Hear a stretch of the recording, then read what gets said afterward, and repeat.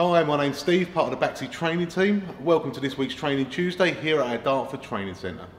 This week we're going to be looking at our Baxi 400 Combi 2 and how to put them into combustion mode, commonly known as chimney sweep mode.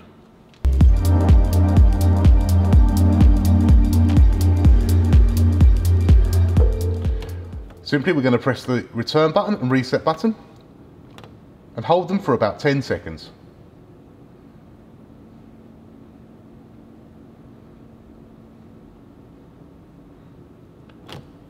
Upon releasing them, we can see the chimney sweep symbol as shown and a capital L. The capital L means we're in low rate at the moment. By simply turning the hot water control knob, we'll get a small H, that means we're in heating load. If I turn it again, we'll get a capital H, and that's a higher rate.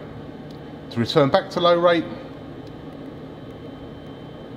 we go back the other way, we'll go back to heating load, and back to low rate. We can then press the return button to exit this.